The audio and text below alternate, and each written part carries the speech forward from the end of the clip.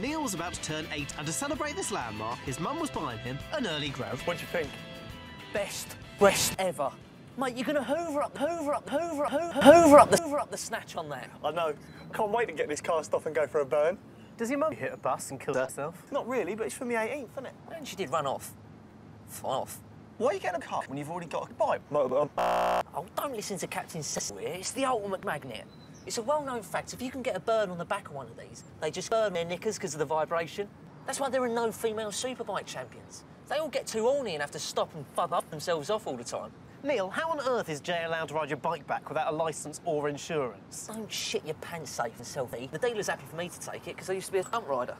It rhymes with stunt. Well, we know that's bollocks. Is it? Because I can show you a DVD, DVD, DVD, DVD, DVD. Oh wow, did you make it into the Guinness Book of Records? Fuck off. I don't think Tara would be happy if I got one of these. She thinks they're death traps. Oh, time for another Tara update. What's that supposed to mean? Nothing. Just because no one cares what Tara says or does, don't let that stop you from mentioning her every 40 seconds. Oh, pardon me for having a girlfriend. You say you used the motorbikes? Of course. With Lance Armstrong. Used to drink that. What, a cyclist? Right. Well, up on, I'll just show you the basics in case it's different from what you've ridden before. Yeah, can do. These are the gears, these are the gears. And they're for stopping, right? Yeah, I presume you want to stop. Maybe. Do you need me to show you that again? Nah, nah, it's all right. You never forget. It's like riding a bike, innit?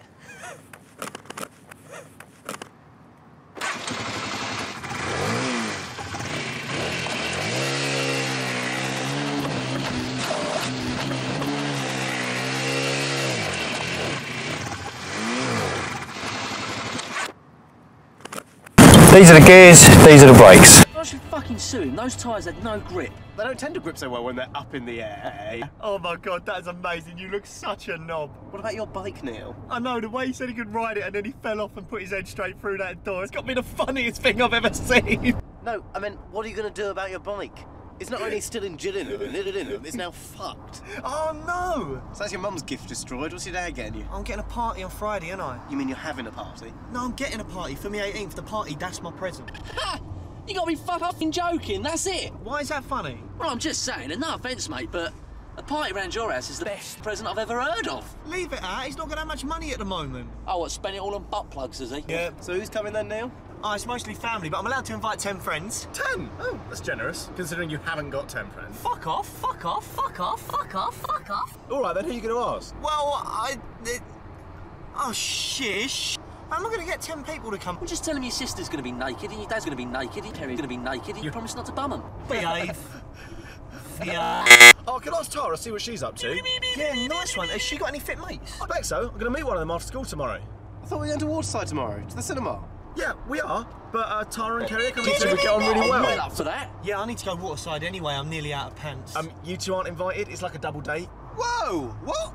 I didn't agree to this. Oh, come on, Will. Apparently, Kerry's been having a bit of a tough time recently. And Tara thinks you two would get on really well. So I said you'd be cool. Yes, but a date's quite a big thing. I mean, do you even know what she looks like? I've not seen her, but Tara says she's amazing. We get on really well. Fuck off! No, I bet she's a right Paul scratching. To be fair, Tara's pretty spot on. So we get on really well. This conversation is specifically about Tara! At best, I reckon this Kerry's a munter. I'm sure she's not. Honestly, Will, Tara says she's fit. Plus, and I probably shouldn't even tell you this, but apparently Kerry's given her last three boyfriends jobs. Seriously? Yep. Well, why didn't you say it? What time are we meeting then? This is fun. Fun double date. We're just shopping. Yeah, but after that, we're going to watch the new Saw film. That's like a date. Oh, yeah, I might not make that actually. You're not scared, are you? Oh, no, I'm just not very good with blood. It's not real, Will. Yes, Simon, thank you. I am aware of how cinema works. Any blood makes me feel queasy. I'm the same. I don't like blood. Once I saw some and I didn't like it.